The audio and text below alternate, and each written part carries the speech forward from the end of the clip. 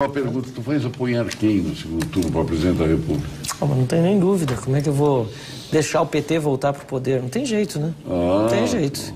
Deixei isso claro já durante o período eleitoral que nós não podemos deixar o PT voltar ao poder. Né? Mas, mas um péssimo exemplo com Lula.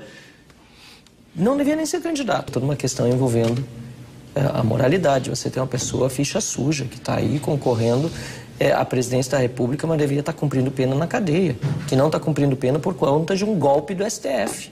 O STF golpeou a população brasileira. Não me venham aqui dizer que o STF é quem defende a democracia, a instituição o STF, ministros aí do STF, tem muitos que estão é, extrapolando completamente suas funções.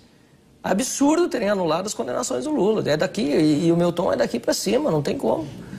Então é o seguinte, eu tenho muitas, muitos, assim, muitas divergências com vários posicionamentos do governo Bolsonaro. É, não muito menos do que eu tive com o governo Lula do PT, sem dúvida, porque o, PT não dá para concordar com praticamente nada do que, do que, do, do que faz. É, e mais recentemente, inclusive, essa PEC kamikaze, eu, eu discordei dela, votei contra, porque entendia que em período eleitoral a Constituição era muito clara que não se podia aumentar benefícios nem para furar teto e etc. E foi feito, votei contra, paguei um preço por isso.